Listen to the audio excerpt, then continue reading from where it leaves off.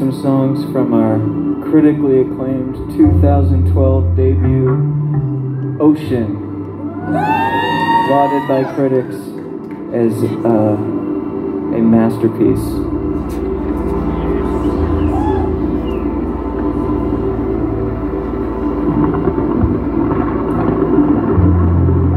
Is it a masterpiece? Decide for yourself.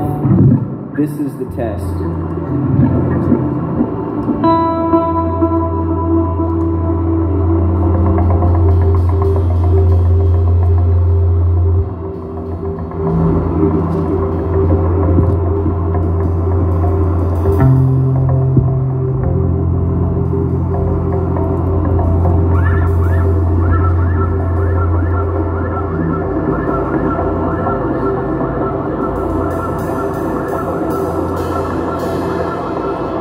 This is a song we don't play very much. It's called Earthquake. Thank you.